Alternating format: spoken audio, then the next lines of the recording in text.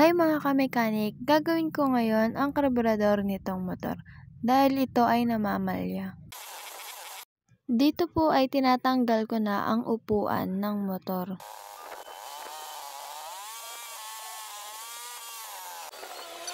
Nang matanggal ko na ang upuan ay sinunod ko naman pong tanggalin ang mga tornilyo sa manifold.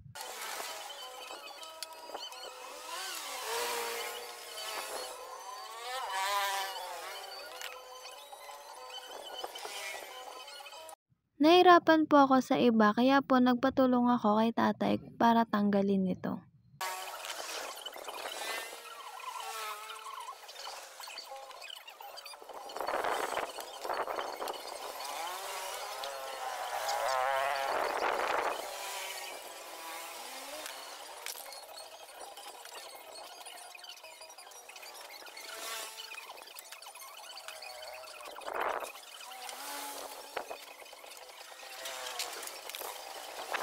Nang natanggal ko na po ang karburador sa motor, ay aayusin ko naman po kung ano ang mga gagamitin ko.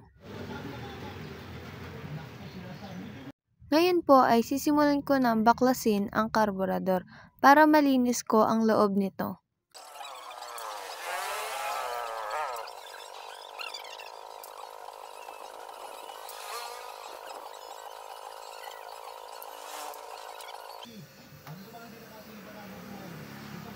Dito po ay tinatanggal ko na ang jettings.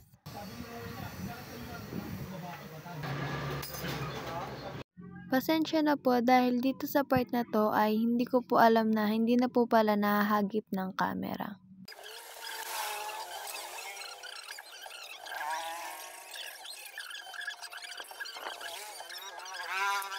Dito po ay nagpatulong ako kay tatay na tanggalin ang jetting sa karburador dahil hindi ko po maalis ito at dahil po ito ay mahigpit.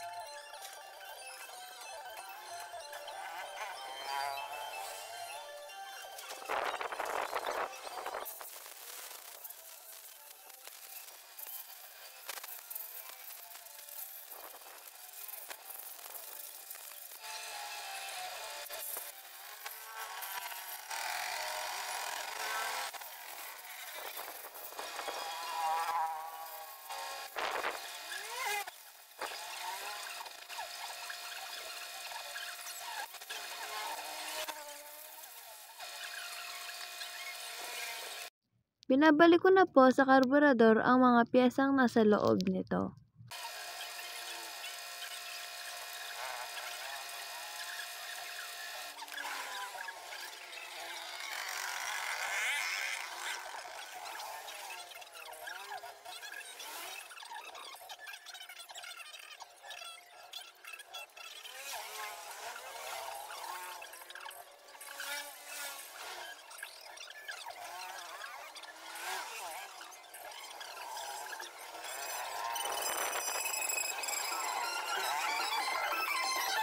Nang matapos na po akong linisin ang karburador, ay ibabalik ko na po ito dito.